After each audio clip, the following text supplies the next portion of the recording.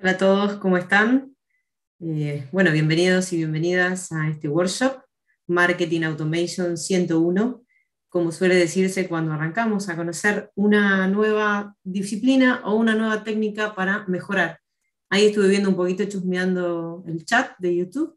Veo que son muchos de Latinoamérica, una persona de Dubái, alucinante. Espero que puedan disfrutarlo. Comencemos.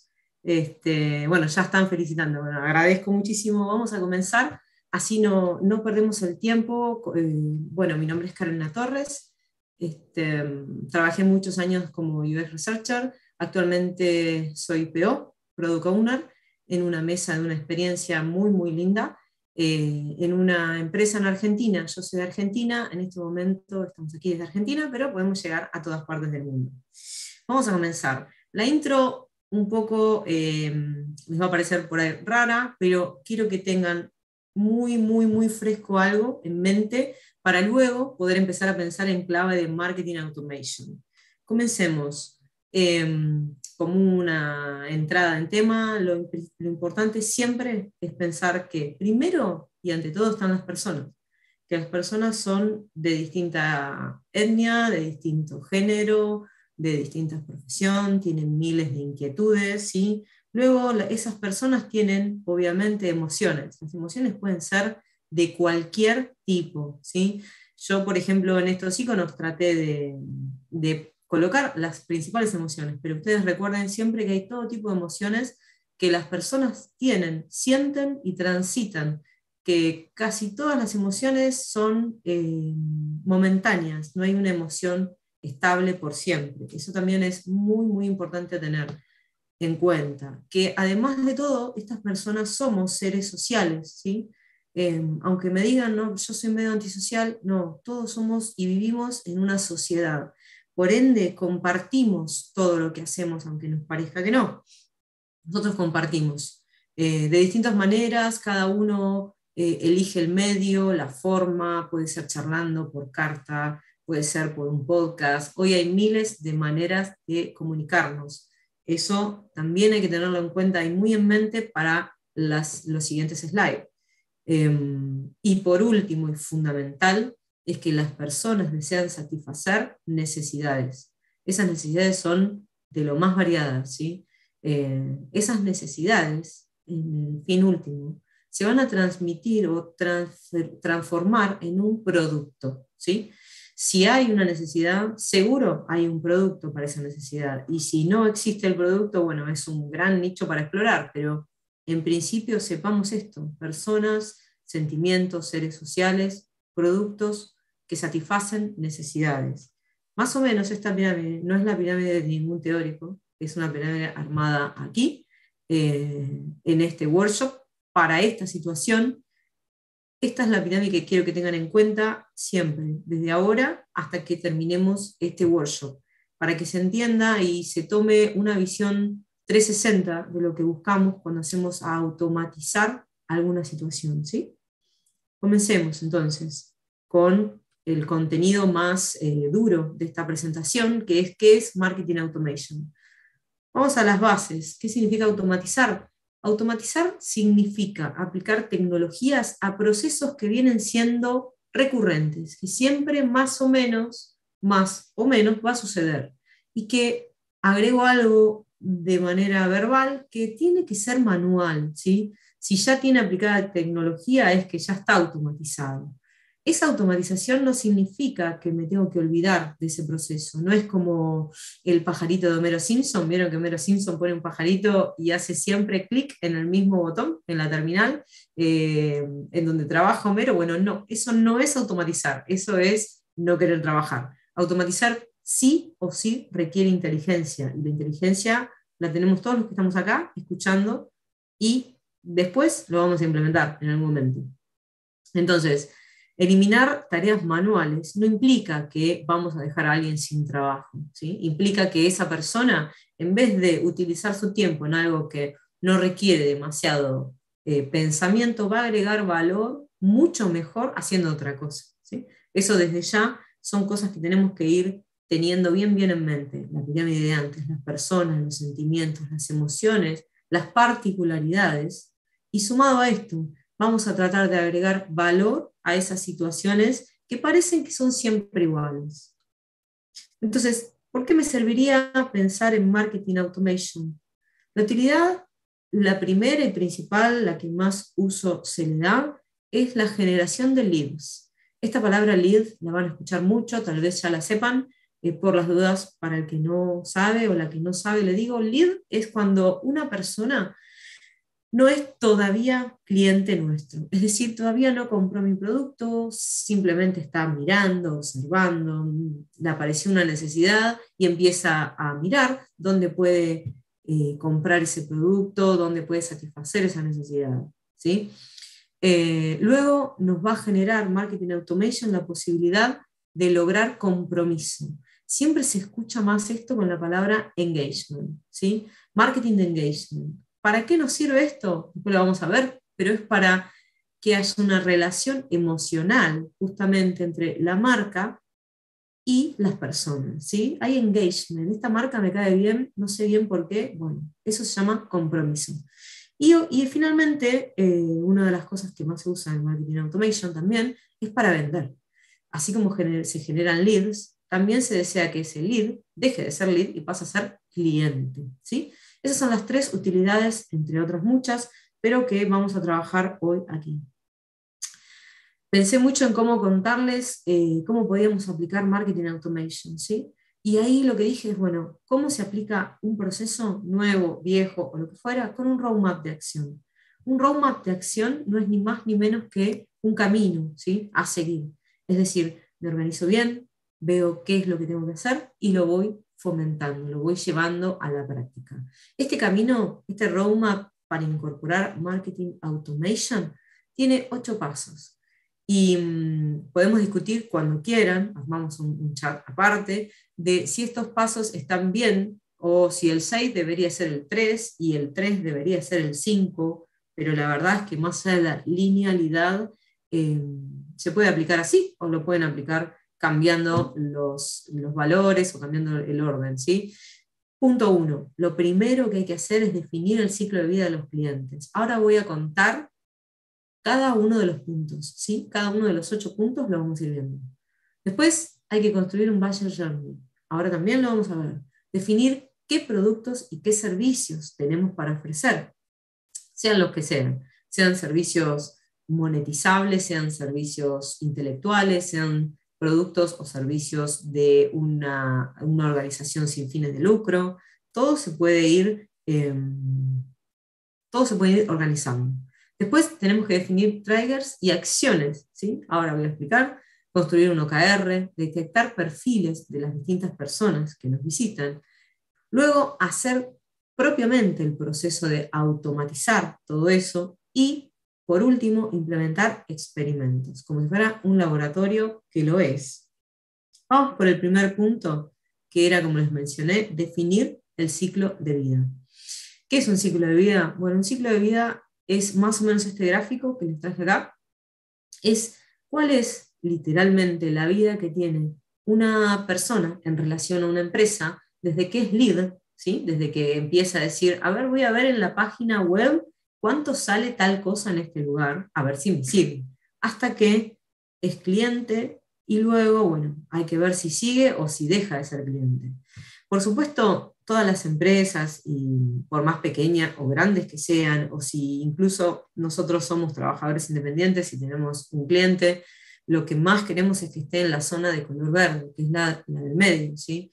Queremos que em, pase poco tiempo siendo un cliente a captar que la experiencia de onboarding sea muy sencilla, así, bueno, finalmente concreta esa venta, que todo el tiempo posible está en la parte verde, que sea nuestro cliente.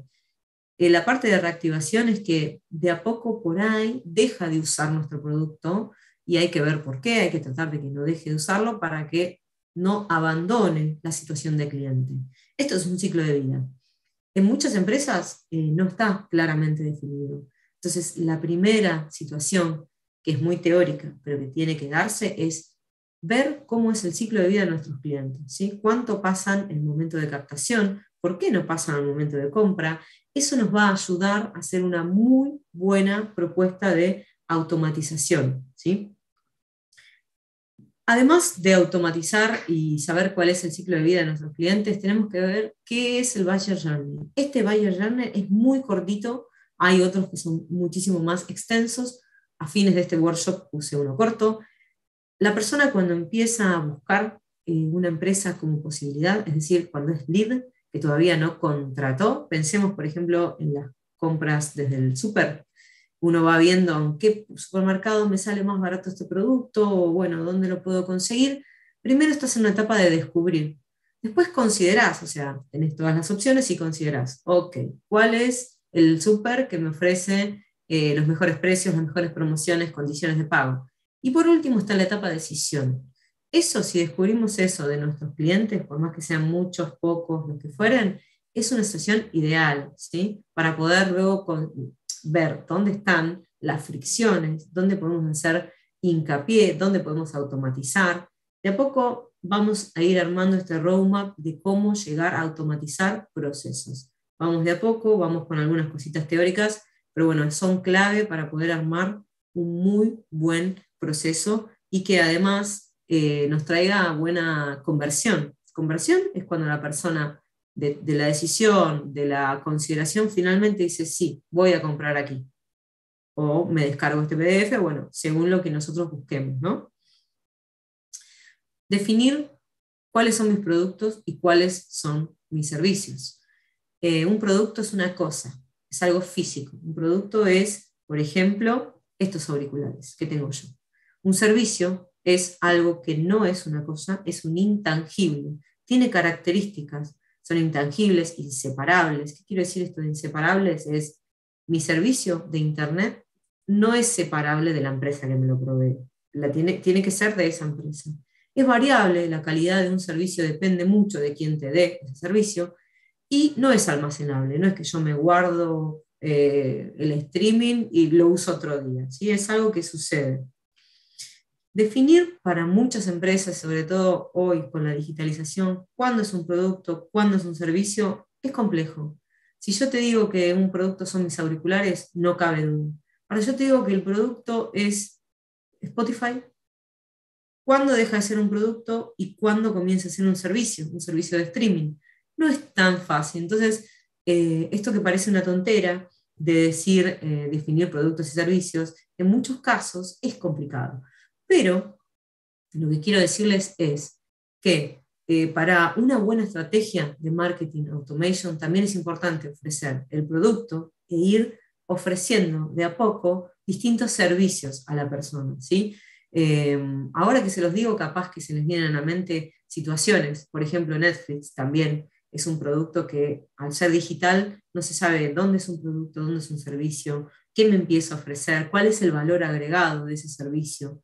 Eso también es clave, comenzar a, de a poquito a diferenciarlo en nuestro propio producto.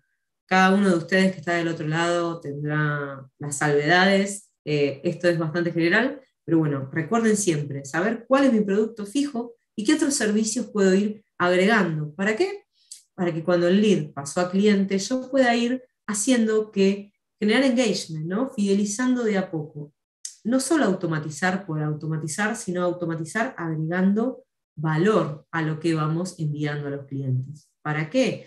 Para no enviar por enviar, porque enviar por enviar no está bueno. ¿Cuántos mails eh, cada uno de nosotros elimina sin siquiera abrirlos? Esa es la idea, ¿no? Que sea lo indicado la persona indicada en el momento indicado.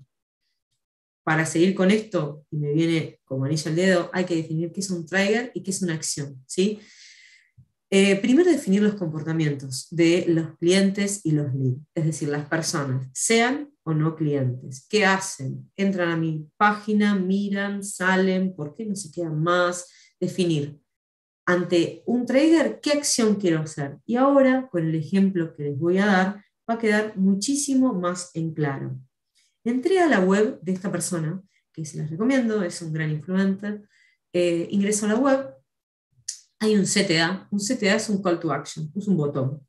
Cuando uno toca ahí, pasa algo. Yo puse, quiero hablar con Tim directamente. Y me aparece un formulario, ¿sí? Lo completo, le puse eh, algo bastante fuerte, le puse, please call me. O sea, como que estaba desesperada, me agradece por ese pop-up que aparece ahí, que dice thank you. Y a los minutos me llega un mail. Ese mail no es que alguien estaba esperando, sino que la automatización de este proceso hizo que me llegara el mail. Seguramente el mensaje también es un mensaje preprogramado, como cuando ponemos el fuera de oficina o cuando hacemos un mensaje así. Entonces, esto es ante una acción, ante una, una acción de la persona, quiero que suceda otra cosa. Hay que definir eso. Si nosotros no sabemos en qué estadio de ciclo de vida está ese cliente, tampoco vamos a ser muy certeros o certeras en el envío. ¿sí? Eh, este caso es muy, muy eh, básico, eh, justamente para que, sea, para que sea fácil de explicar. Después les voy a explicar algunas cositas más complejas. Pero, ¿qué sucede en el marketing automation? Yo hago clic como usuaria en call, llamar a Tim. Aparece el formulario completo con mis datos, en general es mail, algún nombre de apellido y un mensaje, cuando pongo enviar, lo que hace atrás Marketing Automation es guardar ese mail, pasarle una lista de personas que quieren contactarse. No sé si el nombre es ese el correcto, pero bueno, le pusimos ese. Me envía el mail, pero yo ya quedé en una base, en una lista. Eso es lo primero empieza a hacer eh, Marketing Automation. Puse ejemplos para que sean más claros, porque a veces yo hablo mucho y no queda tan claro. Ejemplo, una persona se registra por primera vez. ¿Cuál es la posible acción? La posible acción puede ser envío de mail de bienvenida y confirmación de mail. ¿Sí? Vieron que muchas veces uno eh, se loguea a una app y te dice, bueno, para terminar de registrarte, confirma tu email. Eso es un trigger con una posible acción. Otro ejemplo, descargar un archivo de PDF. ¿Cuántas veces nos descargamos un ebook o algo que nos genera curiosidad? Bueno, Luego me voy a quedar ese mail como empresa o, persona que, bueno, que está haciendo el proceso de automatización y digo, bueno, esta persona bajó una novela romántica. La semana que viene le voy a mandar un mail que propone otras novelas románticas, por ejemplo. se registran en un webinar. Bueno, ¿qué le contesto a la persona que se registró? Le agradezco estar participando, le doy la posibilidad de generar el evento en el calendario. Adicionalmente, yo ya sé que ese mail tiene interés por webinars de marketing automation, por ejemplo. Esos son los procesos que hay que empezar a pensar, que más allá de cómo uno eh, lo automatice, que después lo vemos, es teórico, ¿sí? son decisiones que nos sentamos en equipo y decimos, bueno, ¿qué queremos hacer cuando esta persona hace clic en este CTA? Más allá de programar la automatización, es la concepción teórica de qué es lo mejor para esa persona. Seguimos. Otra cosa fundamental es plantear un OKR, que no es lo mismo que un KPI. Un OKR es una, como si fuera un objetivo grande, general. Eh, ahora voy a poner eh, ejemplos, por supuesto. Para cada OKR puede haber más o menos KPIs, que las KPIs son indicadores. ¿sí? Por ejemplo, el 3% dijo tal cosa, tanto por ciento, un OKR es algo paraguas, general. Ejemplo. Ejemplo 1. Mi OKR grande, fuerte a nivel empresa mía, puede ser duplicar el número de suscriptores mensuales. ¡Wow! Puedo tener un periódico, puedo tener una plataforma de video que no compite con Netflix, puedo tener, eh, no sé, una app de, de, delivery, viajes, lo que fuere. Bueno, la idea es que yo duplique la cantidad de suscriptores. Para ese OKR voy a tener acciones por ejemplo, crear campañas online específicas para captar más leads, agregar hashtag ¿sí? a las cosas que, que postee, eh, aunque no es de marketing automation, también hacia el OKR. También podemos incorporar llamados de acción, como les conté antes, justamente como el caso de antes. Eso es generar un OKR para organizar la tarea y luego poder no solo automatizar, sino decir, bueno, cuáles son las acciones que tengo que hacer para que eso suceda. Otra cosa muy, muy importante, que es parte del roadmap para hacer una buena automatización, es lo que se conoce como user persona. Si bien es una técnica muy, muy de UX, eh, la traigo aquí porque la verdad que es fundamental. Para mí es fundamental. Un user persona es ponernos a, con la información que ya tenemos de nuestros clientes, leads o usuarios o personas que frecuentan nuestro producto, decir, bueno, ¿Qué características tienen? ¿sí?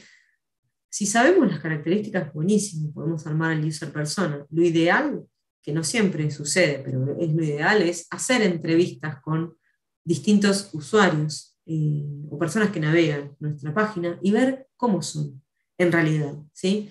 Esto se hace de manera gráfica, se puede hacer en millones de herramientas colaborativas que hay con estas cosas gratuitas, pero eh, también si no tienen eh, ninguna herramienta, lo pueden hacer en un slide, como hice yo acá, de Google Slide o en un PPT, como puedan. La idea es poner características, ¿sí? No es que tienen que saber el uno a uno de todos sus clientes, pero sí decir, bueno, tengo un segmento grande de gente joven, pero también tengo otro segmento grande de gente mayor que no usa redes sociales, que sus necesidades son otras. Es decir, empezar a acercarnos cualitativamente a los deseos de nuestras personas, usuarias o que queremos que sean nuestros, eh, nuestros clientes para que continúen siendo, ¿sí? Como siempre digo.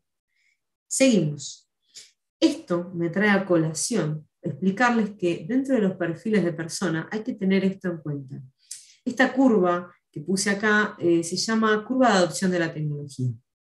Hoy por hoy, gran parte de los que están ustedes eh, acá seguramente quieran automatizar un proceso de producto digital. ¿sí? Eso que lleva a pensar que ese producto tiene un nivel de complejidad, no es lo mismo que vuelvo con lo que tengo acá, que son mis auriculares. Es un producto que seguramente tiene un login, un registro, un ingresar, eh, letras, CTA, colores. Entonces, cada vez que sepan su user persona, traten de saber también o de hacerse una hipótesis de cuál sería el nivel de adopción que tienen sus personas usuarias con su producto, marca o servicio. Em, les dejo un link de esta, para profundizar esto de la curva de adopción, sepan lo siguiente, eh, los extremos son los más difíciles, como en todas las curvas. Em, la gente innovadora adopta muy rápido nuevos productos. Es decir, si ustedes ponen, por ejemplo, si ustedes son Nubi, que es un autito autómata que te lleva la pizza sola hasta tu casa, que no sé qué, bueno, Tal vez en muchos lugares eh, del mundo el Nubi no va a tener un alto nivel de adopción, porque vos decís, me da miedo que se equivoque de dirección y yo me quede con hambre. Mejor voy a un delivery común, que estoy acostumbrado. Entonces, los productos más, más innovadores tienen menor cantidad de gente que la, que la va a adoptar rápidamente. Entonces, saber qué tipo de producto tenemos, si es un producto con mucho nivel de adopción, si es poco, nos va a ayudar a saber también qué tipo de campañas tenemos que hacer y automatizar.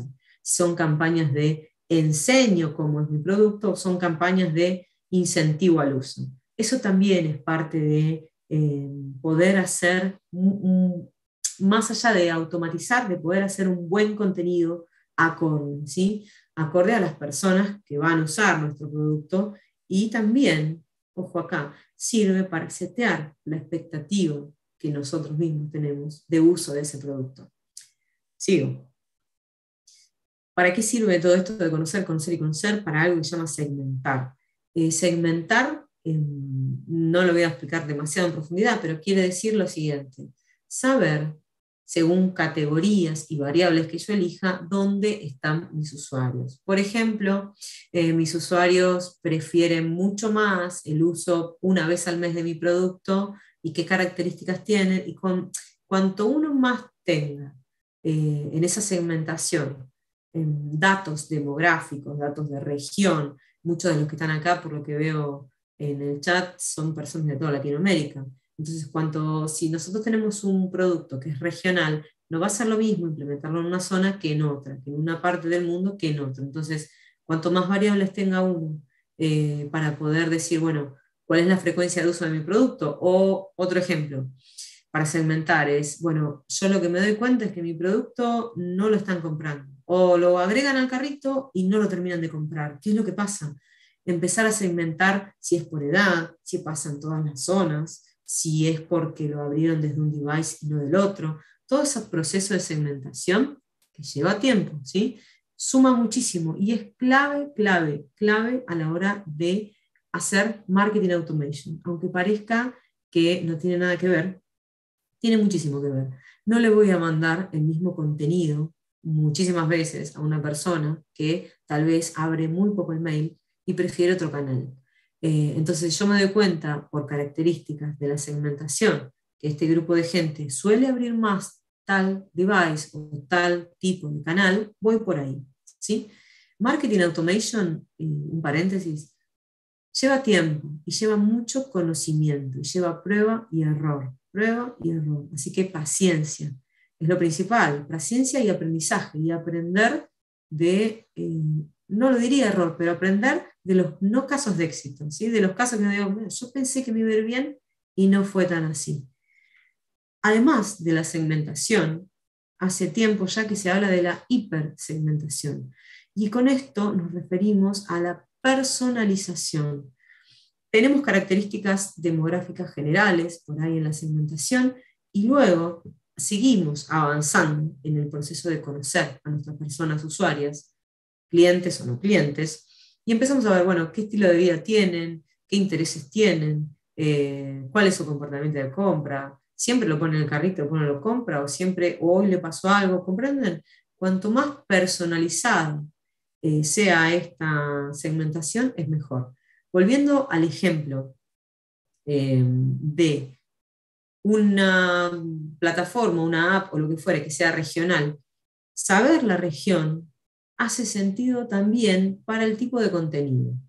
Eh, aunque mm, hablemos todos el mismo idioma, no se dicen las cosas, no se dicen igual en una región que en otra. ¿sí? Un mismo producto se puede mm, mencionar de igual manera o no. Por ejemplo, una chaqueta eh, para algunos países es algo y para otros países es otra. Acá una chaqueta es un bichito, un, animalito, un insecto. Y en otros países chaqueta es un abrigo. No le quiero decir, acá se dice campera, pero eso también hace al contenido. Si yo voy a mandar a todos toda la misma comunicación, el nivel de entendimiento y engagement y compromiso que tenga con mis personas usuarias va a ser raro, porque ¿qué me están vendiendo? ¿Un bichito? ¿Comprenden? O sea, todo lo que sea acercarnos a una persona usuaria de manera empática, pero conociendo cualitativamente, va a hacer que esa estrategia funcione mejor. No solo porque la programé bien, sino porque está pensada. Y ahí creo que se puede ir entendiendo, cuando dije al principio que automatizar no significa poner el pajarito de Homero y que haga clic siempre, significa agregar valor de inteligencia eh, conceptual, no solo inteligencia de, dejar bien programado esto, sino de saber a quién, quiénes y cuánto. Por supuesto, cuanto más personalizamos, más se complica la situación, más filtros hay que hacer. Ahora van a ver cuando les muestre cómo es realmente esto de programar y automatizar. Seguimos, aquí está. Lo prometido ya no es deuda. Esto es una de las tantas herramientas que hay de automatización del marketing. Eh, yo lo voy a explicar con dos herramientas. El que no tiene o la que no tiene herramientas, bueno, será a mano el proceso de automatización hasta que de su empresa o ustedes mismos puedan adquirir eh, alguna de estas herramientas. Hay muchísimas eh, y todas, por supuesto, tienen distintos planes. la idea es que de aquí ustedes sepan cómo es la teoría de la automatización y luego puedan ir a la empresa que ustedes puedan pagar y ver cuál es la que más le conviene. ¿sí? Clave entonces es saber quiénes son mis clientes, quiénes son mis leads, eh, qué es lo que les gusta, por qué me elegirían, todas cosas cualitativas, para poder después decir, bueno, este grupo, se habla mucho de las listas de marketing. ¿sí? esta lista le voy a mandar esto. ¿Por qué no aquello? Bueno, porque no es el contenido correcto. Entonces, ¿qué sucede? Em, este es un ejemplo de automatización. El primer punto es un CTA. ¿sí? Eh, entró a la landing page educativa de un web. Se incorporó a la lista porque seguramente llenó un formulario. Le vamos a mandar, el tercer cubo es, le mandamos un email. Ese email con el contenido que nosotros querramos. Y ahí está donde lo rico es la parte cualitativa. ¿sí? Si abren, eh, después al tiempo le podemos mandar un recordatorio. Si no abren el mail, se pone, eh, ven que hacia la derecha dice no opener. Se hace un reenvío. Todas las herramientas tienen esta posibilidad de dejar programado, dejar a qué hora. Ese es un dato muy importante, a qué hora le vamos a mandar este contenido. En general la hora importa y mucho, no es lo mismo que me lo mandes a las 3 de la mañana, yo voy a estar durmiendo, que me lo mandes en un horario en que la gente está alerta o por ahí está como con tiempo libre, cada uno en su país y en su lugar y en su industria sabe cuál es ese horario y si no, es cuestión de seguir probando. Si no abren nunca ese mail, lo que tienen que hacer es hacer un reenvío a los no open. Casi todas estas herramientas tienen eh, una eh, reseña de métricas. Ahora la vamos a ver. Esta es otra herramienta que es muy, muy usada, que es Oracle. Oracle tiene dos o tres, eh, dos creo, formas de automatización. Una se llama Responsis y la otra Eloqua. Mm, hay diferencias entre ambas. Verán ya ustedes investigando más cuál es la que más le conviene. Muestro dos herramientas, hay muchísimas. Eh, como les decía al principio, hay hasta compañías pequeñas, eh, locales, que ofrecen marketing automation. No tiene por qué ser una enorme compañía. ¿sí? Em, ahí lo que ven es que es, esto es la misma pantalla de filtros, envíos y demás, con más condiciones. Cada herramienta tiene sus condiciones, su filtro. Lindo es cuando nosotros podemos de a poco ir complejizando esto de los filtros. Es decir, bueno, si no abre y si abre, luego el recordatorio, y también por canal. Em, aquí me baso en explicarlo por mail para nivelar. ¿sí? Hay herramientas que pueden hacer envíos por distintas maneras. Esos envíos tienen mucho que ver con las regulaciones de cada país. Hay países que permiten campañas de email, eh, de, perdón, email no, de marketing, por ejemplo por WhatsApp, otros países que no, que es prohibido porque es una herramienta de uso personal y bueno y demás. Ya verán ustedes cuáles son los canales que están permitidos. Yo, mi recomendación es que arranquen por email marketing, que también, eh, y a partir de ahí, y un conocimiento de cómo viene su audiencia, pueden ir eligiendo otros canales. Esta es la pantalla de las métricas de Oracle. Eh, es una pantalla más de la misma herramienta. Acá lo, que lo importante es ver de esa lista de distribución, bueno, en este caso, como ven, son una lista de, distribución de 69.000 personas, grande, una empresa grande, solamente llegaron 68.000. ¿Qué quiere decir esto? Esto quiere decir que muchos mails rebotan. ¿Por qué rebotan? Porque el mail ya no está en funcionamiento. Muchas veces pasa con los mails de dominios laborales. Eh, las personas cambian de empresa, ese mail se da de baja y ahí es la tasa de rebote. Es importante de esa base que hagamos que sea lo más eh, nueva y lo más curada posible. Así evitamos que de los 69 eh, eh, lleguen 68.000, está buenísimo, pero cuanto más, mm, más complicada es la base, menos mail van a llegar, más la tasa de rebote. De ahí te empieza a decir la herramienta de, esos, de esa cantidad total, eh, cuántos le llegaron, cuántos abrieron el Open, cuántos hicieron clic y cuántos hicieron una conversión. Esa conversión eh, es el CTA. ¿sí? Eh, eso se, determina también. Cuándo mi empresa va a decir que esto es una conversión. En el caso de Tim, seguramente cuando yo puse hablar con Tim, dijeron, bueno, hizo una conversión para ese mail. Entonces, cada campaña es un aprendizaje empiecen a pensarlo de esa manera, que todas las personas que hacen un envío tienen que aprender de ese envío. Y no es me fue mal, me fue bien, es decir, bueno, esto la verdad que lo hice a tal hora, con tal contenido y a tal lista, y me fue bárbaro. Seguimos así. Y también es importante la frecuencia. Si ustedes mandan mucho, mucho, una vez por día, dos veces por día, van a pasar directamente a la lista de desuscripción las personas se cansan. Eh, entonces, ese engagement que logramos tener se vuelve contraproducente. Demasiada cercanía hace que la gente nos pase a lista de spam. Así que también otro aprendizaje para el marketing automation es decir, hasta dónde sí, hasta dónde no, y, e ir, bueno, eh, manejando eso también, la ansiedad de querer mandar, mandar y mandar. Sigo. Hablé también de hacer un experimento. Em, en todo momento, y ya este es el último punto, en todo momento les comenté que Marketing Automation es prueba y error. Bueno, ¿cómo hacemos para aprender de esa prueba y error?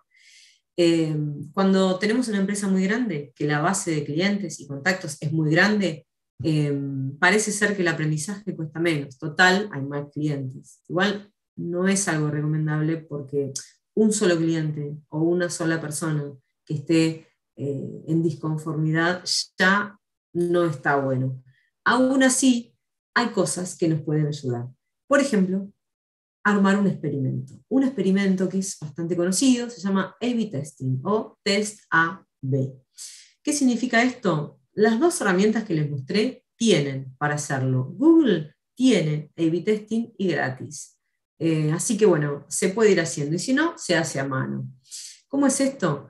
El A-B testing es enviarle a un grupo de personas un tipo de contenido y a otro grupo de personas de similares características el mismo contenido con un cambio. Puede ser uno o puede ser varios. Por ejemplo, les voy a contar un A-B testing. Tengo una empresa eh, y vendo zapatillas. Entonces pongo la imagen de la zapatilla, le digo último momento, la promo, y en el CTA le pongo quiero saber más. Eso a 100 personas, porque tengo poquitos, poquitos leads. A otras 100 personas con características similares les mando la misma imagen, pero el CTA dice directamente comprar. Mucho más claro, mucho más eh, fácil de entender y por ahí más directo. Entonces me fijo, ¿con qué CTA me fue mejor? La verdad que con este. ¿Qué hago la próxima vez que envíe a todos o envíe a una base más grande? Digo, mandemos solamente con el que me fue bien. Entonces ahí es donde aparece el experimento, como si fuera en un laboratorio que uno pone las dos variables a prueba y ve cuál le fue mejor. Bueno, genial. A eso me refiero. Ahí les mostré una imagen, también está linkeada, que dice justamente el ejemplo, eh, comprar ahora y agregar al carrito. El A-B testing puede ser bivariado, es decir, una sola varianza o puede ser varias cosas. Por ejemplo, que le cambie los colores, que la, imagen de la zapatilla, para seguir el, ejemplo, sea distinta, que tenga otro color, o que la zapatilla en vez de estar de frente esté de costado. Y ahí ustedes van a poder probar. Y la verdad que es eh, una prueba de hipótesis muy robusta. Eh, se pueden sacar todo tipo de métricas, todo tipo de mm, análisis inferenciales, pero muy barata porque ustedes si compran una herramienta o si lo hacen a mano, igual pueden decir, che, ¿con cuál me fue mejor? El che es porque soy bordeña, no debería haber sido. Em, así ya tienen un experimento. Entonces, es clave en el marketing automation tener definiciones conceptuales fuertes a nivel empresa y, em, por supuesto, siempre ver que cada envío es una oportunidad para entender. Eso sí, hay que estar dispuesto a ir observando siempre eh, qué es lo que pasa, qué es lo que pasa con nuestra audiencia. Nuestra audiencia no siempre es la misma, va cambiando, porque el entorno cambia, porque las modas cambian. Tengo un regalo para hacerles, que es contarles esto que es muy, muy curioso. Se llama FOMO. Tal vez ustedes ya lo conocen. FOMO es una sigla. Eh, FOMO es la sigla que indica es una tendencia de marketing o una corriente o un insight, como quieran llamarlo, que indican que eh, es una tendencia que es el miedo a perderse algo, que mucha gente eh, la padece. Y yo creo que también cuando, cuando lo leí dije, yo, tengo. Eh, es este fenómeno se caracteriza por querer estar en todo, en todo lo último, la última moda, la última tendencia, y sucede mucho más fuerte en los millennials. Pero bueno, yo no soy millennial, igual sentí que, tenía un poco de FOMO. Acuérdense, miedo a perderse de algo. Es una tendencia de marketing psicológico. ¿Qué hacemos con esto del FOMO? ¿Cómo, cómo me doy cuenta? Eh, el FOMO nos llevó a tomar el frappuccino de unicornio, aunque sepamos que nos haga mal el estómago. Acá en Argentina todo el mundo hizo pan de masa madre en la pandemia. Todo el mundo, aunque le salía mal. Después hacer videos en TikTok. Sabés que vas a pasar un papelón, pero para no quedarte afuera lo haces igual. Hablar mal de las harinas enriquecidas, incluso cuando hiciste el pan con la harina de oferta. O sea, cosas que uno hace para no estar afuera. Hoy el FOMO creo que lleva a mucha gente a comprarse, aunque sea una criptomoneda, para decir si yo tengo, yo no tengo ni idea qué hay que hacer con la criptomoneda. ¿Y esto por qué nos puede servir en el marketing automation? El FOMO, como les decía, afecta principalmente a los millennials y los millennials hacen compras. Es la denominada compra compulsiva. Entonces, hay que aprender eh, de estas tendencias, eh, no para engañar a la gente, ¿no? simplemente para decir, bueno, esto hoy está en auge, la gente lo va a consumir, va a tener curiosidad, se va a sentir atraída incluso cuando no les importa. Y mucha gente dice que se compra cosas solo para postearla en las redes, para estar de onda, de moda. ¿sí? Entonces, ¿para qué sirve esto en Marketing Automation? Puntualmente para los subjects de los mails. Em, mi mail, la parte de, promoción está lleno, sobre todo obviamente en Black Friday y todos esos momentos que se llena todo de iconos de fueguitos. En Marketing Automation, más allá como les digo siempre, de automatizar, lo, clave es diferenciarse. Si yo en Black Friday voy a poner fueguitos en el subject y todo el mundo pone fueguitos, la verdad que no voy a abrir ningún, ningún mail de fueguitos, ya basta con los fueguitos. Entonces, ¿qué pasa? Hay cosas que nos llevan a decir, con esto del FOMO también, decir, no, no, no, yo esto lo tengo que abrir, a ver qué me quiere decir. Por ejemplo, Instagram lo que hace es me avisa, mirá que fulano eh, la usina cafetera y tal, pusieron cosas nuevas. Voy a ver. Y uno entra, solamente porque para no quedarse fuera. Mirá que esta farmacia me dice, mirá que este descuento es solo por esta hora. Y así es como em, no solo hablamos de automatizar por automatizar, sino también de tratar de buscar cuál es el mejor contenido, a qué hora, en qué momento, fueguitos sí, fueguitos no, si todos mandan esto ahora, ¿está bueno? ¿O está bueno mandarlo al otro día y decir, eh, para nosotros es Black Friday, empieza hoy y te distinguís? Eso también es inteligencia, pero que, uno mismo tiene que aplicar y, e inventar y reinventarse para hacer, estar en, la movida, en lo que se usa, pero diferenciándote con algunas situaciones bien puntuales. ¿Quién no se tentó en abrir un mail que dice solo por hoy? Bueno, hasta aquí eh, llegamos, les agradezco mucho. Em, pueden dejarme, como dice eh, ahí en el chat, cualquier pregunta, podemos contestar preguntas. Em, también, eh, si quieren, me pueden contactar. Les puedo compartir este material en un PDF, no hay ningún problema. El material tiene muchos links. Este, Así que para ampliar información también, por supuesto, eh, voy a mirar un poco a ver si hay alguna pregunta. Eh, muchos saludos, muchas gracias. Eh, un minutito. Vamos a esperar.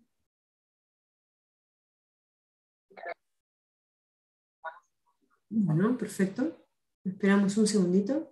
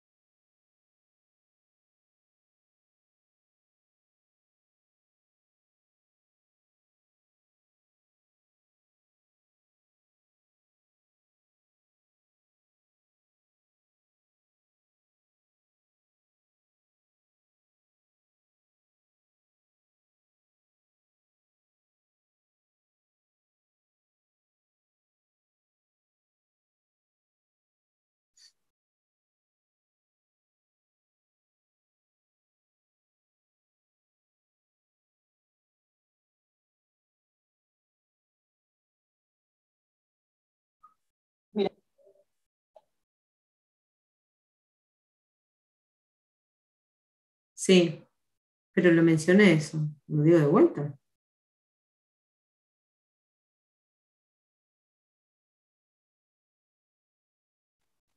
Ahí está la, ahí hay una pregunta. ¿Contesto?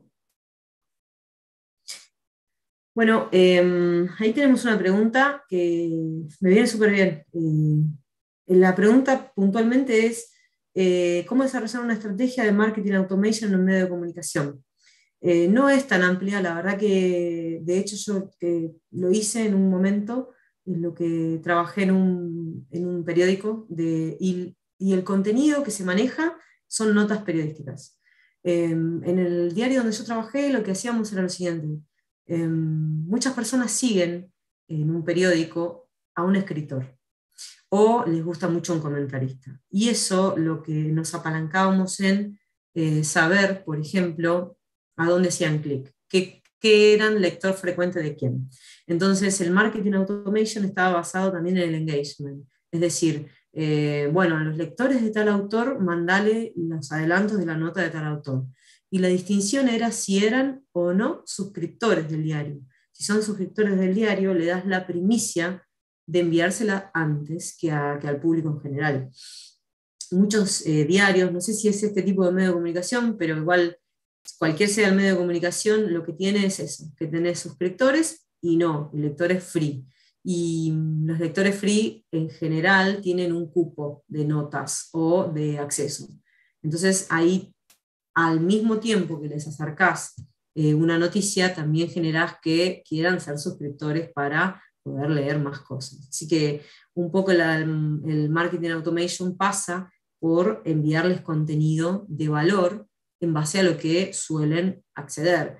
Eh, también es por temática. Por ejemplo, miran siempre notas de cultura. Bueno, entonces foco en enviarle notas de cultura, bueno, en, ese sentido, y generas muy buen engagement y visitan más veces ese medio de comunicación, por supuesto.